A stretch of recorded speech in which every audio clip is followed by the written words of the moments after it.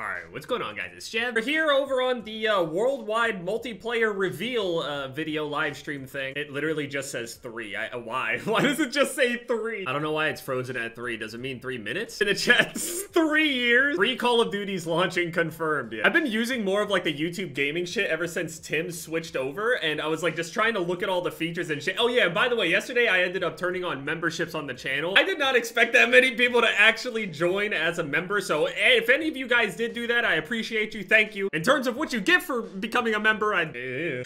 so, from what I know, after this multiplayer reveal, there's gonna be a whole lot of people that are able to actually live stream the game itself. And they'll be able to play for like, to stream their multiplayer gameplay for, and then they'll be able to get off. Yeah, okay, so we got less than a minute left. A lot of people were asking, and I've been seeing a lot of people mention it to me. I was invited early to play the alpha the, the alpha for Champions Hill early. I was invited to that and I played it early, but I didn't upload any of the early gameplay. I waited and I played the public version of it with everybody else, so I didn't use any early gameplay or anything like that. I provided my feedback and everything and what I thought in detail about the map especially. To a degree, it did kind of get addressed. Apparently there's a perk coming that's gonna, you know, kind of make the uh, radar work at least hopefully a little bit better. We'll see how the actual game plays, but uh, we'll see actual live stream gameplay, but I did not get invited to the extra stuff for the actual multiplayer gameplay. So I only got invited to Champion Hill. Time is finally here.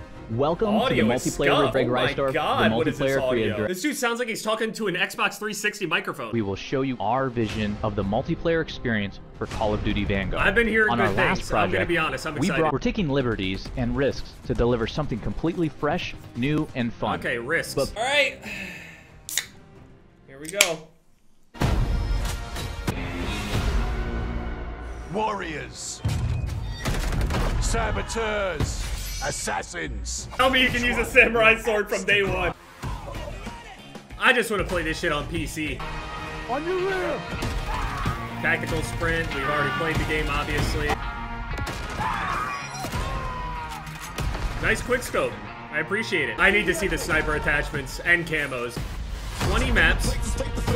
I think 16 of them are 6v6. Big possibility that quite a few of them could be trash. Next level customization.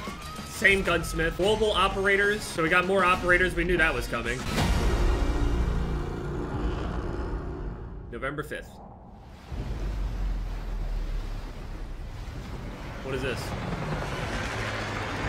Pre-order now and get early access to the open beta. Digital pre-orders get instant Was that a tease for the Night war? Hold on, wait, wait, wait, wait, wait. Was that a tease? We're going to talk to our art directors about Vanguard's unique look and take on World War II.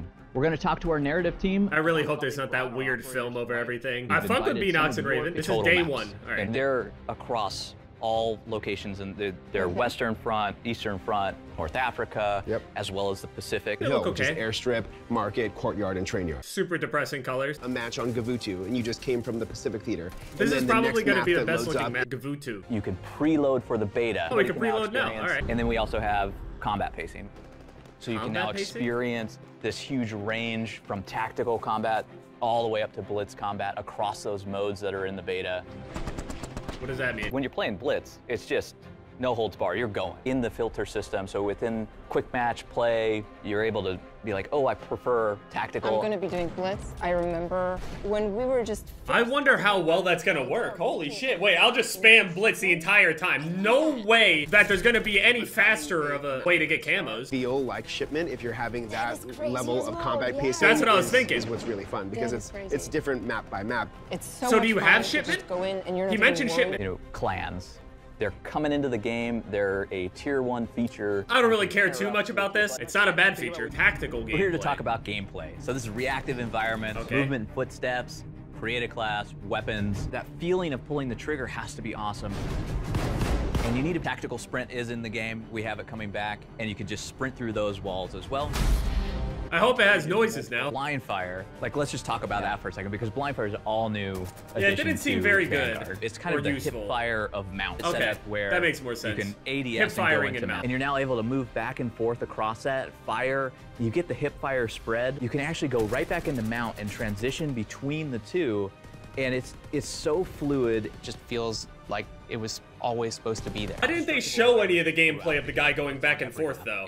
That's what I want to know what it looks like. In third person, if somebody's blind firing over something and they're walking back and forth strafing, what does that look like? Even with this idea of combat pacing around those structures, like we have tactical combat pacing where now destruction just matters so much more when there's a lower player count and it's so much more intimate. And then you go into something like Blitz, which is just crazy amounts of players in there, and those maps completely change based on how that combat pacing is flowing throughout every playlist that you're going Good. into. All right, and, cool. And those Fuck modes it. even. I just stay away from all the campers. Good. Fuck yeah, it's we have blitz a all day. so you're able to now go caliber up or caliber down within each weapon. The heavier the caliber, the more it's going to change the, the look of the walls.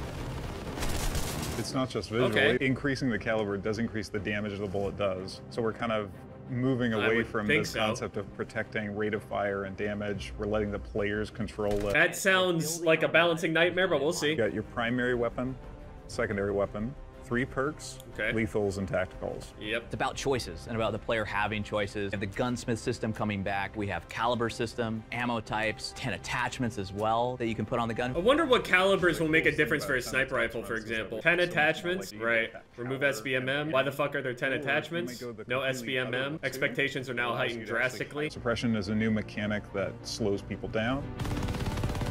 Suppression is in uh, Battlefield, and I'm pretty sure that actually has an effect on your character as well. That's kind of annoying. Yeah, I imagine if there's Blitz and there's a whole bunch of LMG dudes mounted up with suppressing bullets, like extra suppression bonus on them or something, that's gonna be not fun at all. There's gonna be some busted shit, I can tell. It's gonna be so fun. Art direction and next gen tech. Art direction, yeah, I'm curious about this because from the looks of it, most of the maps are really dark or they got like this. What's the term? Like a vignette or like a like a sepia filter over everything. See, that map looks nice. This one looks okay, but they got like this weird smoke over them, like a fog. I want clarity. I want to be that character because that character kind of feels like me, you know? And I think that's huge. Not too important to me, but I mean, cool character design so far. The same thing happens within the maps as well. Yeah. Mm-hmm. And so we even have some maps that are actual spaces in the world. Is it just based off of something, or are they gonna show that crazy modern warfare shit? and try to figure out how we can get photogrammetry I like how they're showing this. that. Home because when something feels more realistic, you take it more seriously.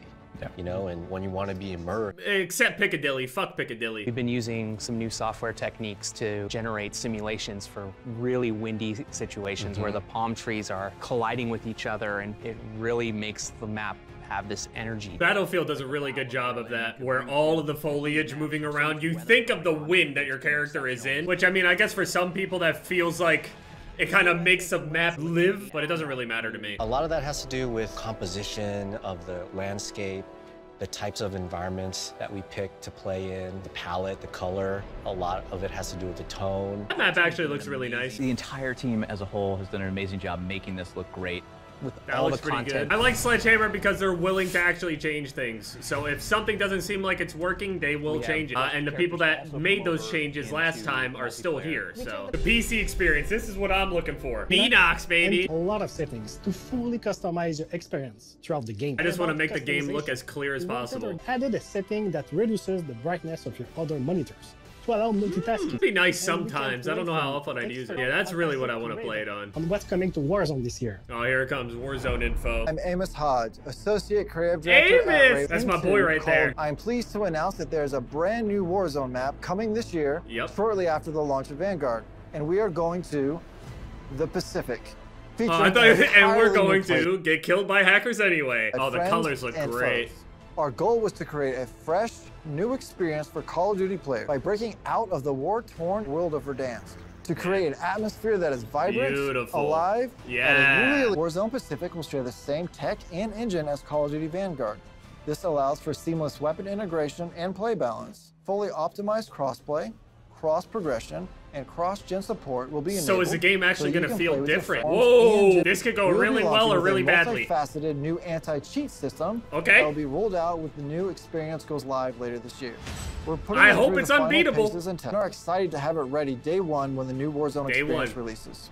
Our teams have worked Day one hard on Warzone this experience. and much more. And I will mean, the map to looks do so. beautiful. We look forward to playing with all of you later this year when the Pacific officially comes online. Just change the color tone of your game. Yeah, that. And you can preload on PlayStation starting today. I will For your that. first look at live gameplay from Call of Duty Vanguard Core Multiplayer Tune in now to one of your favorite creators from the entire development team around the world. Yeah, Thank you congratulations, so everyone. much. All right, well, I mean, that was the uh, Vanguard multiplayer reveal, along with like some Warzone info and shit. I mean, we've heard good shit. I'm excited for it. I, I don't really have much more to say until we actually start playing it and everything. That Blitz mode, that, that Blitz setting will probably be like, that's one of the biggest things that I've seen this whole time. Like, it's a huge deal. Uh, I'm hoping that it makes as much of a difference as I'm thinking it does, uh, but who really knows? I don't really know what that's going to do with players or how that will match people based on skill or however that goes. I don't know. But everybody's going to start playing their shit now. Uh, I'm going to edit this, get it up and everything, and just watch everybody else play.